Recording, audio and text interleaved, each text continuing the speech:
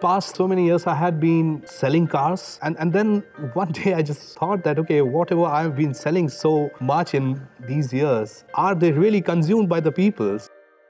Hi, my name is Abhay and my business idea is MobyShare. At least 80% of the people in Ireland do own a car, but we hardly use it. We just use it for 8% of the time and rest of the 92% time it's parked. That's where MobyShare comes in. It's going to give you the leasing capabilities through which you can share the car to the people like 800,000 commuters who don't have a car or 11 million tourists who are looking for a car.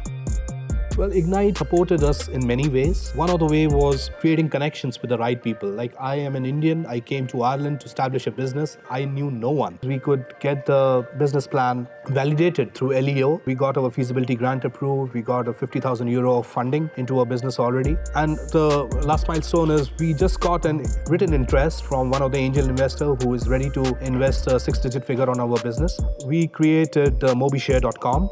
So that portal is very much ready now and people can register themselves as host and they can also register their cars into our portal. So you can check it out yourself, mobishare.com.